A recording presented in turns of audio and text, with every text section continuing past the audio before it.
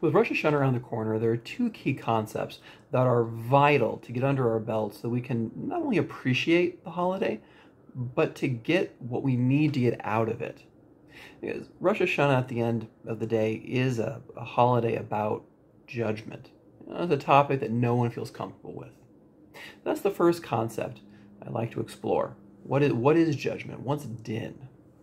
And the second is amuna, faith. And to give a quick definition of these two before pushing forward and then jumping into the sugya and Gemara Shabbos uh, statement of Rava that really brings out, I think, uh, what this holiday is about. Uh, it's useful again to get a definition of, of din, which I think is the ability to translate social and ethical hierarchies. It's not just being able to interpret what's good or bad, but that's the most basic of hierarchies. You know, what is good is above, what's most, most worthwhile, what's bad is below. But it's also about being able to interpret context, having different ethical values at play, uh, competing for one another. So, for example, you know, murder, you know, murder is wrong. You know, that's 100% true in certain contexts, except if you want to save your life, if someone's running after you what's really cool about being able to interpret hierarchies is really good at it. There's an amazing researcher, Dr. James Pennebaker, uh, who's discovered that we're able to nail uh, our social position hierarchies within 30 seconds of meeting somebody. It's this ability to discriminate, to be able to tell the difference, to order our ethical lives and our social lives. That's what a judgment is this and not that. And having having the ability to prioritize the value of what that is as opposed to this. Emunah is interesting. I think a, a useful definition something that i, I gleaned out of the Chazon Ish Sefer Emunah V'Deos the way he seems to describe Amuna is this built-in trait we all have it's not necessarily uh, by definition connected to God at all. It's it's this compass we have of, of uh, that orients us in the world, that allows us, that that draws us into the world to be willing to be open and curious about it. Yeah, on a in a biological level, this is probably the orienting reflex. Very similar. This exploratory desire that we have what what what it's what what the what the what the feeling is i think ultimately is this faith that the world has meaning. And it's that faith that drives us to look into everything. That assumption this has meaning this has value. And we can choose to put that on Hashem or something else. That's a, that's a step two you know in a more religious way of looking at this term but it's built into us on a fundamental level so the goal of today's class is going to be to better explain what the concept of Yiras Hashem is, how to define it, what does it do, and, and what we're going to find as we go through this this sugya and Gemara Shabbos, uh, looking at the way Rava is is uh, understanding what judgment is. Well, we're going to see that his idea of Yiras Hashem is is more tool like than anything else. It, it transforms how Amuna and how Din manifest from us, how we express those values, and ultimately are able to, to better engage the world. As therapists, clinically, I think we are shooting to develop a, a sort of Yiras Hashem with our clients, to be able to regulate Amuna, to regulate Din in such a way where we're able to give over the skill called radical acceptance. You know, it, it, radical acceptance as a, as a psychological skill to help clients incorporate, well, that's kind of like a judo move where we're pulling in pain, we're engaging it, we're confronting it. We're not afraid to run away from it. That's exactly not what we're doing, but we're pulling it in, being curious, courageous in doing so. And by doing so, we, we escape suffering. So in, in behavior therapies like DBT and ACT. Radical acceptance is a key component in the emotion exposure therapy that's done there. DBT also uses radical acceptance as an emotion regulation skill. Uh, you can kind of think of that as an ejector seat when all other skills of being able to emotionally regulate uh, one's mood have failed. Well, this is a this is a, a, a last ditch effort to not completely lose control of one's life and make things worse. Radical acceptance is powerful. From a psychodynamic approach, you know, rad, uh, radical acceptance is definitely there, but there it's more the tone of the entire therapy, where the therapist himself is trying to model this curiousness, this openness to whatever's there, this willingness to lift up that which is denied, demonstrating bravery. Now these are these are these these whether from a behaviorist approach or a psychodynamic approach, they are different. I think that the behaviorist approach is slightly emphasizing the din aspect of being able to discriminate and judge one's world. Uh, so it's going to be more pain centered uh, in the sense that we're trying to get a good sense of what's painful and what's suffering, what will what will take us out of suffering, what will allow us to feel pain, and ultimately to transcend that pain. Whereas from a psychodynamic approach, I think that the emphasis is more on the curiousness part of things, the openness, the willing, the willing to explore. So, like I said, a really good sugya that uh, that can help us understand what din and amuna are, and ultimately have a better understanding of what Yiras Hashem is, is Gemara Shabbos, Daf Lamed Aleph, Amud Aleph, and it goes to Amud Beis.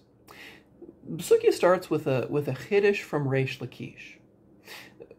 Reish Lakish is he's he's grappling with a pasuk from Yish, from Sefer Yeshayahu that says that the faith of your times is in your strength of salvation, wisdom, and knowledge. The fear of Hashem is His treasure. So, kind of orienting ourselves in the pasuk a little bit. When you look over in the Abarbanel? Well, he says that this whole section of Sefer Yeshayahu is describing Geula, you know, the ultimate salvation the Jewish people are going to experience. And that these above qualities of the sort of salvation, wisdom, and knowledge, well, well, those are our possessions as the Jewish people. These are something that we've been we've been given. They're they're in our hands already. They'll be more um, uh, evident during the times of Geula. But as far as the possessions go, those are ours. And, and this is important because the latter half of the, of the, of the verse is describing that Yiras Hashem is something which is owned by Hashem. It's his treasure. Now, what's interesting, the way the Abarbanel describes this pasuk, and we're going to see this in the actual Gemara itself, is that Hashem's treasure, this this Yiras Hashem, well, it, it, it's it's being described as something that unlocks the world. It opens up the world in a different way, and it's something that is purely His, but we have access to that we can use. So our Gemara and Gemara Shabbos opens up with Reish Lakish. Uh, he, he, he's trying to figure out, well, what's the symbolic meaning in each of these words in this verse? And the way that he he organizes his understanding of this verse is that, well, each word, each aspect, each possession of the Jewish people, well, that's one part of Mishnayos. So ultimately, you know, the, the, the you know, time, salvation, wisdom, you know, all these all these different uh, uh, key words in the in the verse, well, they're representative of one aspect of Jewish law. That's ours. But he makes distinct the treasure of Hashem, this Yiras Hashem, that even if a person studied all of halacha, knew every law cold, fear of Hashem is different. So he, he's ultimately making a distinction and an assertion. The first is that halacha, um, information, for lack of a better conceptual term, is different than Yiras Hashem, which I, we can kind of think of as meaning knowledge and meaning are not the same. And that it's ultimately fear of Hashem that gives any value that gives meaning to halacha. And here Reish Lakish ends. The next insight given is from Rava. And he, he's taking Reish Lakish's point that there's there is meaning and non-meaning that's in front of us. But that he pushes it one step further that non-meaning, you know, without Yiras Hashem, well, it's not neutral. It's actually laced with suffering. So Rava teaches that you know, in the time of judgment, that when we pass away, we're brought in before this sort of you know tribunal, I guess, you one way of thinking about it, and we're asked several questions, trying to outline what our life was about. Now, the different Rishonim think about judgment, you know, the times of judgment, uh, breaking them up into three different times. You know, one is Rosh Hashanah, that every year we, we have an accounting of what our life was about in the year. So it's all very present focused. Now, sure, there's this sort of reflective quality to it, but the idea is, you know, who are you now in your life? So that's, that's the present focused aspect. The next is at the end of one's life, which which is where Rava is describing. And and here it's well, what did you make your life about? More consequence focused. The last judgment that we'll all have is in the end of days when, when all of creation has come to a completion. And the question is, well, well how did your life matter in the greater scheme of things? There's this idea within Jewish thought that, well, we're not just judged for our intentions and actions, we're not just judged for the results of our actions, but the ripple effect it has through time, the good that's accumulated until the end of days, and the bad that's accumulated in the end of days. So that's the final judgment there. It's a more big picture judgment than anything else. But it doesn't matter what type of judgment, whether it's Rosh Hashanah or the end of days. It seems like from the way Rava's understanding things that there's really seven criteria that we're judged under, no matter no matter where you're holding one of those three.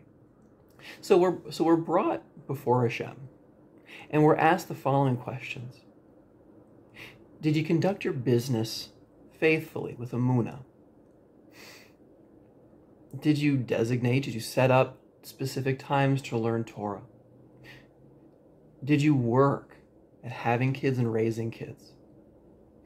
Did you look for and expect salvation? Did you engage in, in the dialectics of wisdom, you know, Iron Manning two different ideas together, trying to search for truth, looking at opposites? And, and did you under, did you were able to make inferences in what you were learning and understanding? Were you meaning were you actively engaged in life, not just letting things happen to you, but there was an active participation in it. And now, just like Reish Lakish, Rava leaves off with the question, and despite all of these these things, was there Yiras Hashem? Is this a quality a person had been able to develop? And if so, those six things have worth, and if not, they don't have worth. Now, at this point, it does seem that maybe there's this neutral ground. Well, if it doesn't have worth, but maybe it's not bad, it's just a loss. But Rava adds a parable. And he says that this whole this whole situation, this how the importance of Yiras Hashem is kind of like if you know you're the you're you're you're the owner of a farm and you have one of your farm hands haul up haul up the harvest on top of your roof. It's going to be the upper upper areas, the attic. So the guy pulls it up there, and you ask him, "Oh, wait a second. Did you put in the preservatives to keep the worms out?" And the servant says, "Oh, no, I, I forgot. I didn't I didn't think you you didn't tell me."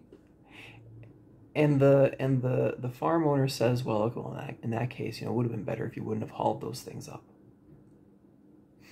So there's a couple different things that that are the outcome of this. You know, this is this is the bad. This is the suffering.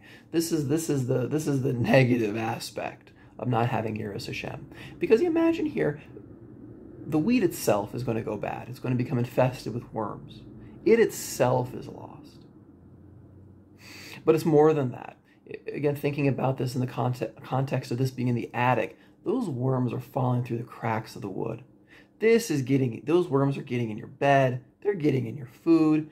You're going to have an infestation of your entire house on your hands, ruining not just your life, but anybody who comes near you, anyone who comes into your private life. So, lack of Yiras Hashem is a bad thing. It takes these very intimate, very meaningful aspects of our life and ruins them and ends up hurting and ruining other people's lives. One, one way of thinking about this is from a moral and a, moral and evolutionary psychologist perspective. If we were to look at the works of Jonathan Haidt, uh, you know what what he's demonstrated, and, and other moral psychologists have shown, is that there's two there's two types of morality that exist uh, on a biological level. One, which is his area of, of research mostly, is disgust. Now, disgust is one of the six primary feelings that they uh, that, that are that all people have. There's biological markers for these. There's uh, cognitive processes uh, for the feeling of disgust, and it cues different behavioral patterns. Disgust is this sort of you know people who have this sort of personality trait that engage the world in this more in this more disgusted way. Well they're very high in orderliness. The the orderliness which is fine which is an okay thing but it crosses over into a hyper obsession with cleanliness and purity. There's a high rigidity with with people with this temperament a lot of black and white thinking highly categorized thinking. The, the, the permeableness of the, the boundaries of categories is sealed shut. There's a lack of flexibility, another way of thinking of it. There's low openness and low agreeableness, and high neuroticism as well. So, thinking about disgust again as being a, a, primary building block of, of one way of being moral and ethical, well, this moral expression is seeking out to exterminate a threat. There's a contemptuousness, there's a scorn that a person is feeling. There's a, a, high use also of a plausible deniability. That this person is trying to hide the fact that they're contemptuous and scornful, but it's definitely there. Another, another uh, moral expression of this is an inflated ego complex. Well, the person is highly relating to their ego persona, their Superman self, as opposed to who they really are so there's also this detachment from reality. A second type of moral base, which again is, is, is present in all people, is this quality of awe. Now, what's cool about disgust and awe is both are rooted in fear. But where for disgust, the, the type of fear that, that disgust is uh, ultimately, like I said, motivates people to want to exterminate and destroy. Well, for awe, there's this type of openness to it. For awe, if you ever imagine being confronted with something so large that you just couldn't incorporate, you know, a beautiful vista, uh, an amazing song, there's this sense of inf- being being confronted with infinity and you're trying to grapple with it. You're trying to integrate it into you. Ultimately you can't but it's it's it's so gripping that it doesn't matter that you can't. You're still drawn to it despite the fact that it causes you fear. So like so again there's this high level of openness a low level of neuroticism with this experience and it, it, it, maybe another way of thinking about it is shares qualities with vertigo, where your whole nervous system is overwhelmed with, with this feeling of too big, too dangerous. But with the but but being able to be in the zone of tolerance where it's something that you're still wanting to try and integrate, that you're willing to confront it, you're willing to be there. It's captivating. So the moral expression here of this type of, of experience of awe is being confronted with the infinite and you're hopelessly trying to integrate that fear into yourself. But that it's it's transformative, it's transcendent. So there's courage, humility, and acceptance of what is. And there's this reduced importance in who you are as an individual. It's not as though you're giving up who you are, but you're, you're fitting into the grand scheme of things. And I think it's fair to say that both disgust and awe, they express din, they express amuna, but in very different ways. Where I think awe is at the heart of it, Yiras Hashem, and disgust, what, what Rava is warning us from falling into. That all of those very meaningful, important uh, life domains that he listed off, well, you can live in those being disgusted, being rigid, being inflexible. But that ultimately it destroys you and those around you. So, this amuna of disgust, sure, you have this opening, curiousness, but it's, it's not it's not because there's a genuine interest in the world around you, but it's in order to find the threat and suppress it, destroy it. Sure, there's an energy to it, but it's a destructive energy. This is moral indignation. The din of disgust. Well, there you have the shoulds and oughts that are being put on other people, mostly. Now, sure, these are also internally directed, but it's those should and oughts are not things to live up to, but what they end up doing is eating away at your life. It's having this oppressive judge standing on your shoulder. You know, you're not a good enough parent. You're not learning enough. You know, you have to be more honest. And it runs you into the ground. And again, that that that judgmental, critical eye being put on other people. You know, horrible parents. Why doesn't that guy learn more? There's a clear good guy and bad guy. Again, the hierarchy is very rigid. And there's this sense of control a person has. You know, I'm the boss. I know better. There's this assumption that, well, you're at the top of you're at the top of this moral hierarchy, and sure you're you're hard on yourself, but you're hard on other people also. There's this top-down perspective. Now, describing engaging morality and ethics, halacha, in this way, it's easy to see how you could fall into those traps. And in all those life dom- domains, wreak havoc on yourself and your relationships. All is different. This is the transcendent, transformative key that Reish Lakish was talking about and that Rav is spelling out in more detail. The, the amuna of awe again, is this open and curiousness, but there's a courageousness, the self assuredness that exists that one is willing to accept whatever life is throwing at you. Again, this idea of integration that will take that too. Yes, and. And the din aspect of, of all, there are shoulds and ought tos, they exist there too but they're directed towards the whole. There's a greater good to live up to. And this greater good is a, is a greater good we're all striving to, to reach. And so there's this sense of, of, of connectedness and togetherness that, that all of humanity is, is traveling on this, on the same road of shoulds and oughts to better themselves and better other people. And you find here this idea of submission, submitting to meaning and order and that by submitting to this meaning, submitting to this order, submitting to pain, well, what you're doing is you're paradoxically transcending it.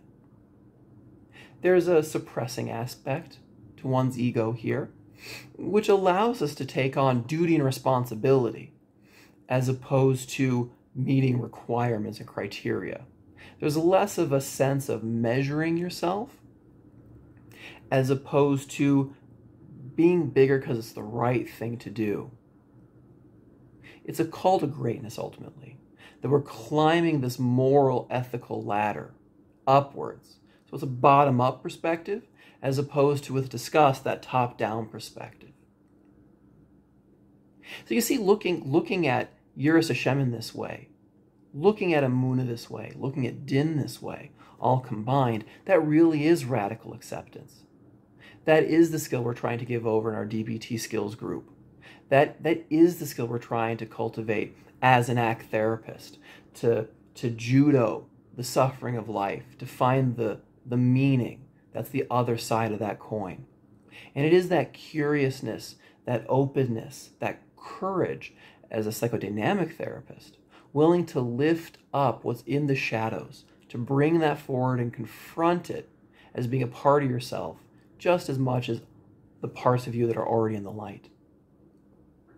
That we enable our clients to find meaning in their suffering so they can transcend it and escape it. Now, there's still going to be pain there. Life is filled with pain because well, all pain is is a hierarchy from good to bad, moral to immoral. We can't escape that. That just is.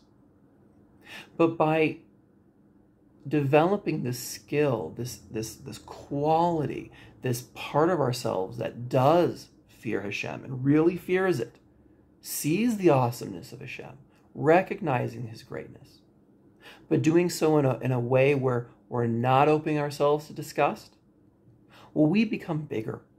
And the bigger we become, at a certain point, we, we become bigger than our pain. And it's at that point that our pain might even be useful, might even be meaningful, might make our lives something that we want to have, maybe even have a little more of pain. Because we can see we can see the road we're walking down through it because we accept it. Again, it's that judoing suffering. So I give everybody a bracha that we should all be courageous this Rosh Hashanah to openly and curiously accept our pain, pain that we cause other people, pain we cause ourselves. And that by finding meaning in that, by looking at the other side of the coin, seeing how we want to live, seeing how we want to be bigger, that we can we can be more and transcend with that pain.